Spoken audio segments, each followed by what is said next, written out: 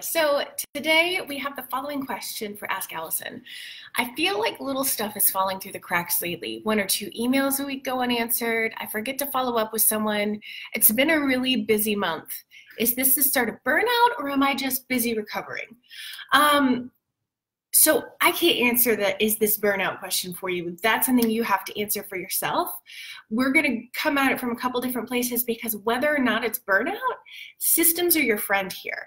Um, I suspect you probably have been operating with systems that have worked up until now. And what we often see in our practices is that the systems that worked when things were a little bit slower, um, we had a little bit more time on our hands, don't always translate when we've got a full busy practice.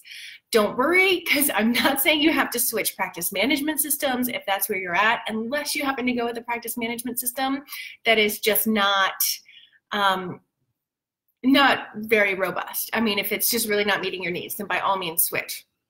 But and if you're in that situation, therapy notes makes it like super super easy to switch over. So if you're in that position, therapy notes has your back and it's robust enough for any practice size from like one client to hundreds and hundreds, um, which wouldn't be your clients. That would be group practice, hopefully. Um, okay.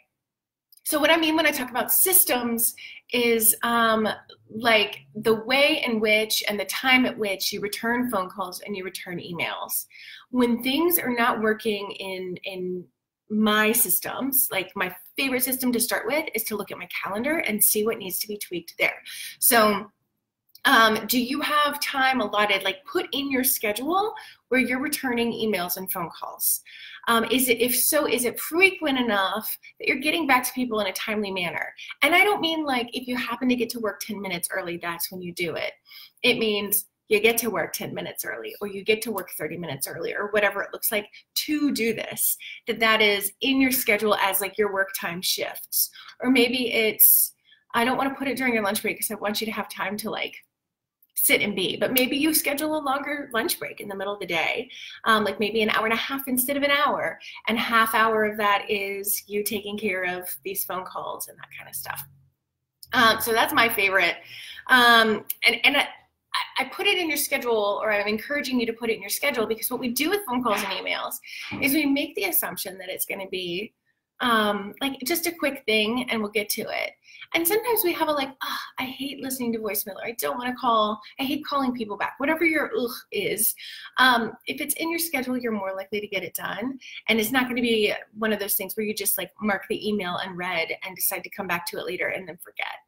Um, another thing that you could consider is hiring somebody to manage your phone and your email. Um, that's a whole other conversation that we're not going to get into here, but I want to put that bug in your ear. Um, we have a whole course in the Abundance Party called Full Practice New Problems because there are like there are new problems. There are new problems when you're full. We all kind of look at it as Shangri-La. Once we get full, everything's going to be easy. But there are new and different things to manage, and it's all manageable and it's all awesome. But sometimes we have to make some shifts and some changes. Um, if it is burnout, we also have a course in there called Private Practice Life Burnout, which is honestly my favorite course i think.